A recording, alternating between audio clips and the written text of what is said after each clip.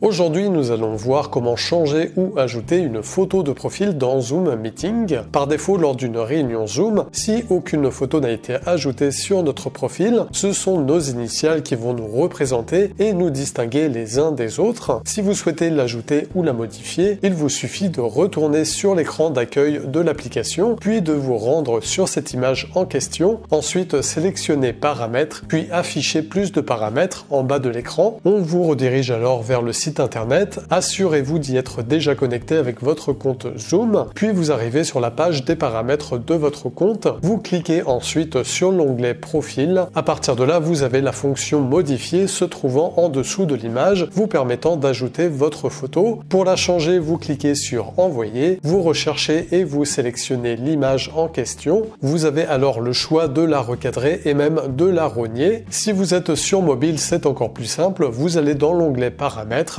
vous appuyez sur votre nom et sur photo de profil. Pour finir, une fois chargé, votre photo de profil apparaît. Si besoin, vous avez la possibilité de la supprimer. Et pour terminer, lorsque vous retournez dans une réunion, vous pouvez constater le changement. Merci pour ce visionnage. Retrouvez les meilleures vidéos à travers les playlists accessibles dans la description. À très bientôt.